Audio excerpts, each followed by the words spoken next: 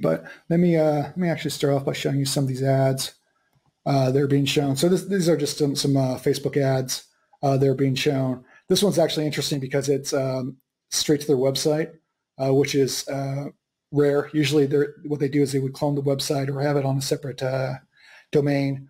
But Medterra, you know, they they spend so much money with Facebook advertising, and the reality of, of all this is, you know, it's it's harsh, but um, bigger companies that are spending a lot of money on these channels have a lot more leeway.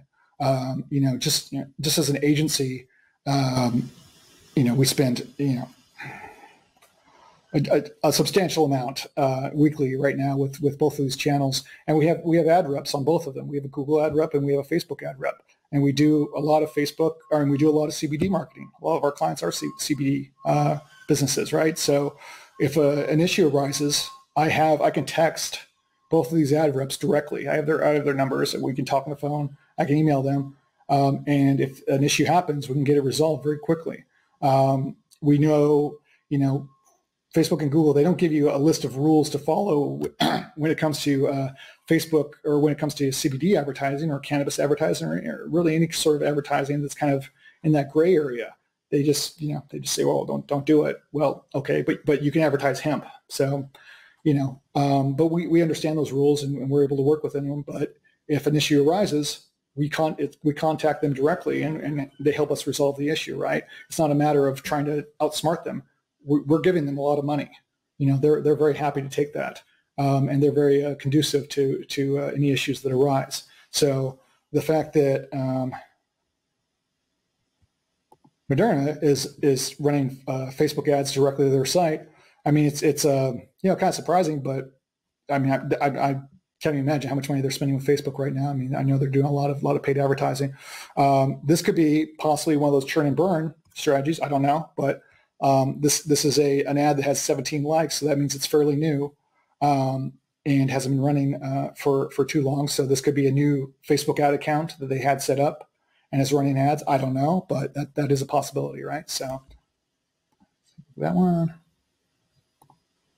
Uh, Royal CBD. So this strategy here is basically it's a click-through page. So I actually have them opened up.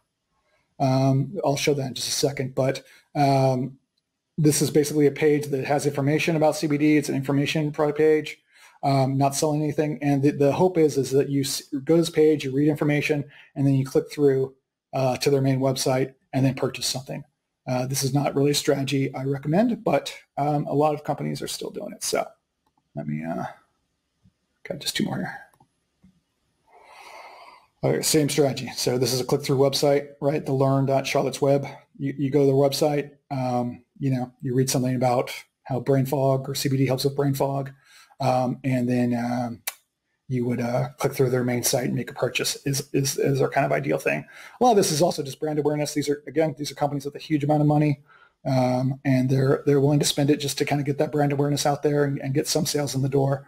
Um, it's interesting that they have CBD in the ad copy. This is something I usually try and stay away from uh, just because this is another one of those things that could potentially get you in trouble. But again, Charlotte's Web, they're spending a lot, so they probably got a little leeway.